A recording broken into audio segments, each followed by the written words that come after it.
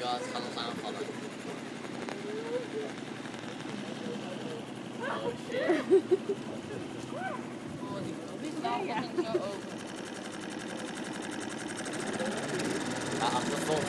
open.